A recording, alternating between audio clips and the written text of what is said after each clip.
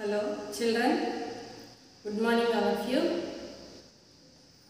This is you, Cecilia Mary, Social CRT, DV Satram, SPSR Nellore District, Samagra Siksha, KGBV Schools.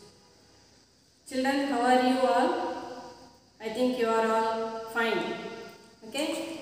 So, uh, I think you are uh, uh, at home and also following all online classes. Okay? And uh, today we are going to learn 8th class social lesson. Children, in previous classes, mean 6th class and uh, 7th class, you all studied uh, different places, about different places and uh, crops and crops and uh, food habits like that uh, you studied about different places in 6th class and 7th class. Now in this class you are going to study about a different place or a different region and uh, children here in this place continuous nights and continuous days are there in this region. Okay? And uh, have you ever seen like this in your areas or places? No. Okay? So this is very different place. So that is uh, the polar region. The polar region.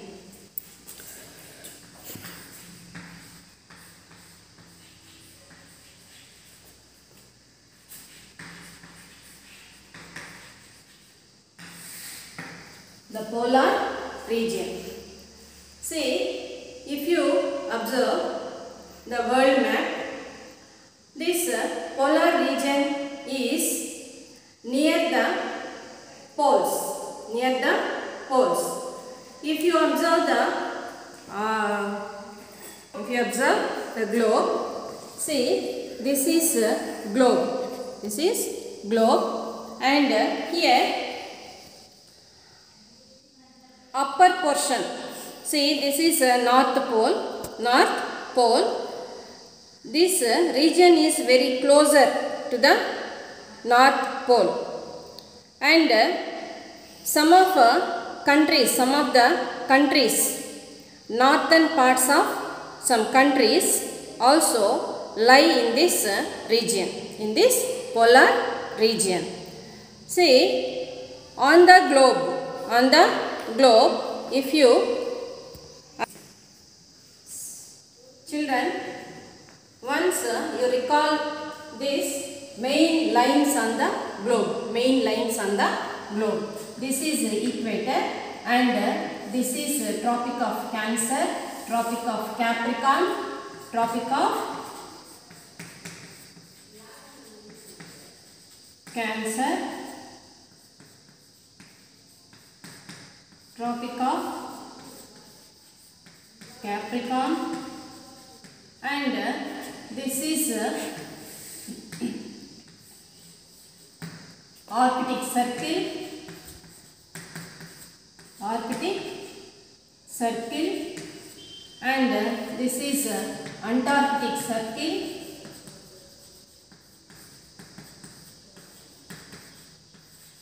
Antarctic Circle. And uh, we know this uh, 23 and half degrees. North latitude is called tropic of cancer 23 and half degrees uh, south latitude is called tropic of cancer and 0 degrees uh, latitude is uh, equator and uh, 66 and half degrees north latitude is called arctic circle and 66 and 6 and half uh, south latitude is Antarctic circle. And uh, this is uh, 90 degrees 90 degrees north latitude that is a dot and uh, here also 90 degrees south latitude.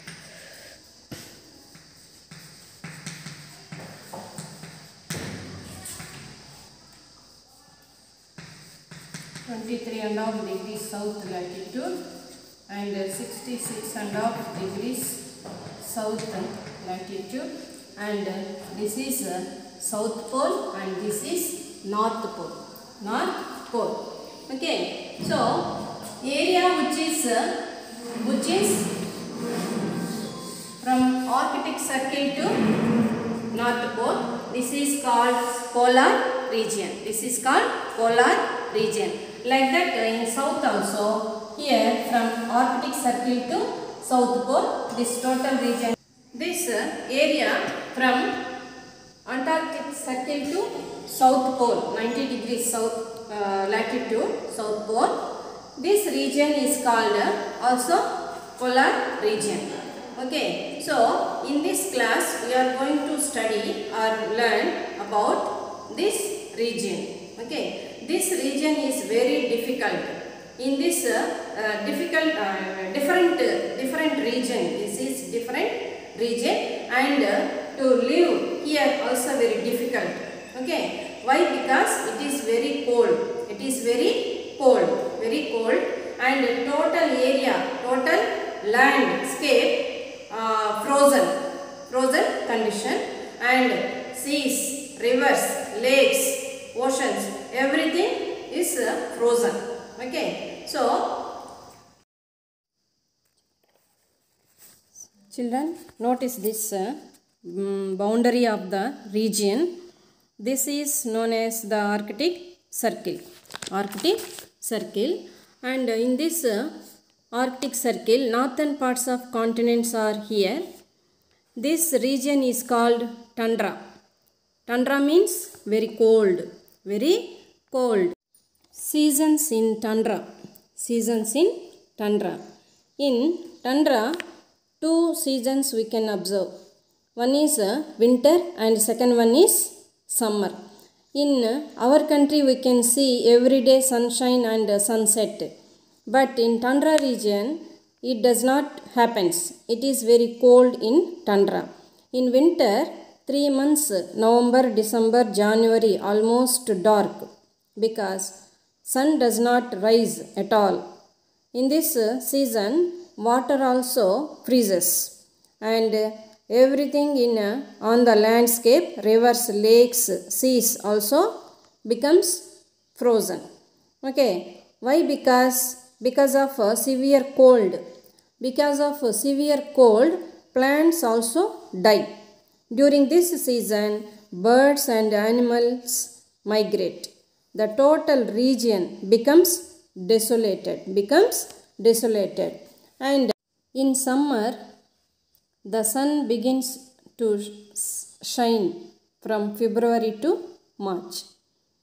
In this uh, season, the sun shines begin beginning sun shines one and a half hour then sets. Gradually, this time increases like 2 hours, 4 hours, 6 hours, 8 hours, 16 hours and 24 hours. Almost 3 months from May to July, the sun never sets. Sun does not rise overhead. Warm conditions will be there. Even in summer also it is cold. Due to warm weather, some of the ice melts and rivers begin to flow. Huge ice blocks break off, then float into the ocean as icebergs. During summer, multicolored plants, lichens, grass, shrubs, and berries sprout all around. These small plants bear flowers and fruits. Many birds and animals come to feed on them. Okay in this uh, season in during uh, during summer season the total area looks like uh, very beautiful with uh, small flowers and colorful uh, shrubs and tundra vegetation tundra vegetation. Throughout the year because of cold conditions the upper soil surface of the region is frozen like rock. This is called permafrost. This is called permafrost. Underground soil becomes very hard. Underground soil becomes very hard. It is uh, difficult for trees to grow. The trees get uprooted with strong winds. So tundra region is uh, treeless the people eskimos.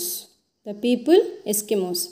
The arctic is a region of vast treeless plains icy seas and barren rocky islands. This harsh cold land is the home of eskimos. Home of eskimos. They live in greenland canada alaska and siberia. Eskimos isolated from other people they lived by hunting and fishing. Their main occupation is hunting and fishing. Their lifestyle is different. Their lifestyle is different. Eskimos meaning eskimos meaning snowshoe netter. Snowshoe netter. Eskimos are two groups. Eskimos are two groups. One is inuit and second one is yupik they are descendants of siberia they have languages and spoken for thousands of years. Their main languages are Inuit, Yupik, and Inupiaq. And northern Alaska to Greenland, most of the people are Inupiaq or they are uh, speaking, and southwestern Alaska and Siberia, they are using Yupik language. Yupik language. First Eskimos came from Asia and first they entered North America about 5000 years ago. Eskimos groups moved to other places. Now their population is growing. Siberia, Alaska, Greenland, Canada are the main uh, places of Eskimos. And most uh, most are on the treeless tundra or arctic plain group life. Eskimos live in small groups. In northern alaska coast there are villages of over 500 people in eastern region that is uh, greenland baffin island and labrador these people move from place to place throughout the year and they follow seasonal activities. In winter, they spend near the coast for hunting seals and fishing. In summer, they hunt caribou and gather berries. It is uh, very difficult to walk on the frozen seas, rivers, and uh, they cross snow and uh, ice on sledges pulled by dogs. They travel on water. They travel on water in open boats called umiaks. Group life is very important. Group members work together in hunting. To hunt seals, 10 to 12 members needed. They use harpoons to hunt seals. To hunt caribou, over 100 people work together and whales and fishing. Hunting and fishing. Eskimos are highly skilled at hunting and fishing. Caribou hunting is very essential. They used bows and arrows, harpoons to catch the caribou. Fishing also very important for some groups. And skilled hunters also there in these groups. Seals are harpooned from kayaks. Kayaks are small boats made of animal skins stretched on wooden frame. Their main food is meat, fat, and fish. Vegetables are scarce here. Hunger and starvation are common in this uh, region. They used to store meat and fish in uh, shallow pits. These pits are dug down to permafrost and covered with piles of stones. Wood also scarce to roast the meat and fish. Raw meat or fish are frozen and cut into thin strips, which are dipped in whale or seal oil. Some meat is eaten decayed state. Shelter. Igloo means shelter. Igloo means shelter. This is dome shaped snow house. Dome shaped snow house. In summer, Eskimos live in tents made of animal skins. They use walrus skin and wooden frames also used to make this igloo. And northern coast of Alaska people used whale ribs also. And frozen turf also used to cover the dome. And in greenland people use stone slabs to build this igloo. Snow houses are used only in the eastern and central regions larger snow houses are used as winter residences long tunnel entrances provide storage space in these larger homes. The entrance tunnel opens into the house below the floor level. Snow benches also arranged in igloo about 1 meter high. Sometimes two large snow houses are joined together by tunnels. Take down assignment. First question Locate polar region in the world map. Second one What is called igloo? Third one How are seasons in tundra? And fourth one Write about tundra vegetation. Okay, children, read the lesson and uh, go through all online classes. Take care and uh, don't waste time. Okay, children.